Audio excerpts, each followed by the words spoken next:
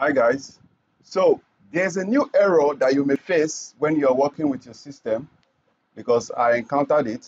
So if you open your Linux system or your Ubuntu system on your computer and it is telling you to enable virtual machine platform Windows feature, that is, you should ensure virtualization is enabled in your BIOS and you know that you've done it before, you know, it's enabled. I mean, that means you've been able to use Linux before, but all of a sudden, it is showing you this error.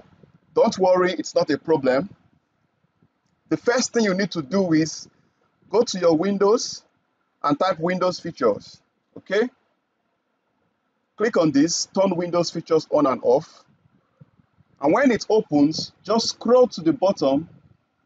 The first one is enable this Hyper-V. So you see mine is enabled. So you enable yours. Then you scroll to the bottom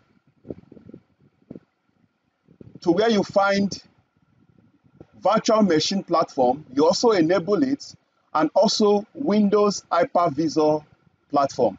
When you've done enabling that, you click on OK. Mine is enabled, so I won't click on OK. After you've done that and you are sure that you've also enabled virtualization in your BIOS, if you've not done that, if you're using an HP, please press F10 when you restart your computer, then scroll to advanced or security and enable virtualization. Then the next thing you need to do is you need to open command prompt as an admin. Okay? So when it is open as an admin, you take this first command, you can type it. It's also going to be in the description of this video, okay? So take that command,